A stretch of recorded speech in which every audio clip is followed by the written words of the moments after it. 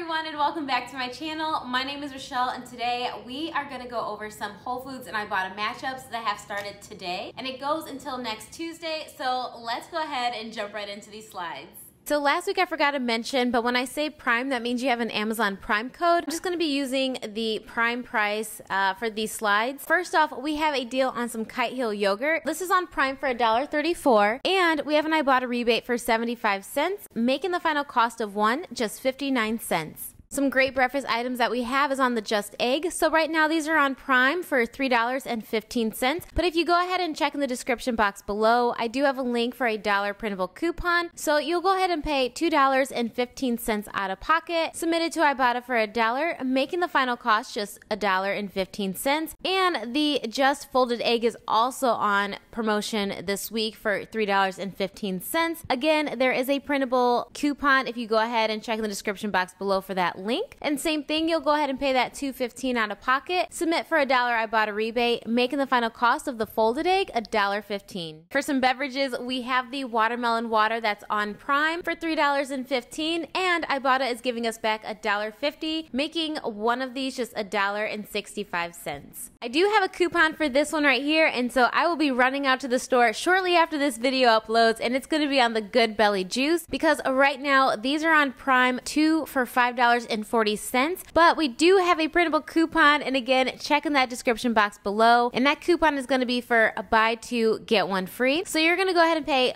$5.40 out of pocket. And we do have an Ibotta rebate for a dollar back. But because we're picking up three of them, our final cost for all three will be $2.40 or just 80 cents each. This next deal actually is pretty sweet. So we do have a Ibotta offer and we have a Shopkick offer. We can pick up two of these Hiball energy drinks at $2.99 each. That's going to make our out of pocket $5.98. Ibotta is giving us back 50 cents each. And on the Shopkick bundle, we can get back $3.60, making the final cost $1.38 for both of them or just 69 cents each. Now, because this is a bundle offer, flavors do differ. So just make sure while you're in store that you are picking flavors from either bundle just so that you can qualify. All right, so these cookies are still on sale again this week for $3.59 on Prime Prime, and we still have that high Ibotta rebate for $2.50, making the final cost of one bag just $1.09. Another sweet treat is going to be on some mochi. So right now, these are priced at $1.49. They are not on sale, so that will just go ahead and total us $4.47. But Ibotta is giving us back $2.75, making all three of the mochis just $1.72 or 57 each. So we have a pretty high Ibotta rebate for some hummus, and right now we can pick up two of them at $3 $4.99 each, which will total us $7.98. And we will be receiving $4.99 from Ibotta, making the final price for both of them $2.99 or $1.49 each. This is a really great deal this week on the dressing marinade from the Chosen Foods because right now these are on Prime for $4.22 and Ibotta is giving us a really high rebate of $3.25, making the final cost of some dressing or marinade just 97 cents for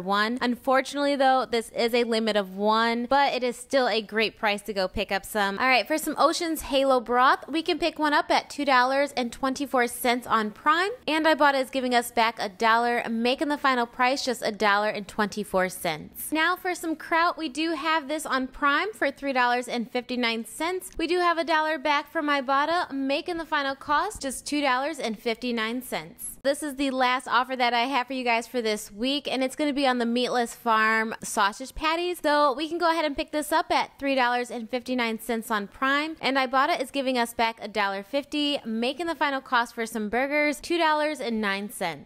All right, everyone, that is all that I have for Whole Foods this week. Thank you so much, and I'll see you next time. Bye.